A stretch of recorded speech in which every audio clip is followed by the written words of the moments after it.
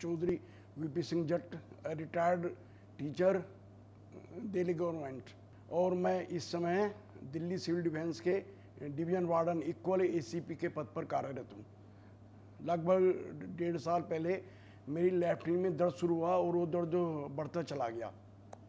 मेरे तीन बच्चे हैं and they are national champions they told me to contact with doctor Deepak Chaudhary मैं डॉक्टर दीपक चौधरी के पास आया। इन्होंने इसको देख करके सर्जरी के लिए मुझे सुझाव दिया और लगभग पाँच दिन पर तीन चार दिन पहले मेरी सर्जरी हुई है।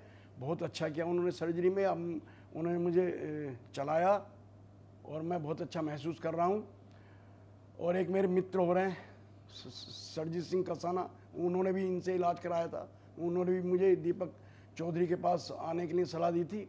मैं बहुत अच्छा महसूस कर रहा हूँ और बीएल के अस्पताल के लिए मैं बहुत थैंकफुल हूँ। इसके अलावा डॉक्टर दीपक चौधरी, डॉक्टर शिव चौकसी और डॉक्टर निधि सहगल फिजियोथेरेपिस्ट और जो बाकी टीम है, उनकी बहुत अच्छी है, उन्होंने बहुत अच्छा इलाज किया।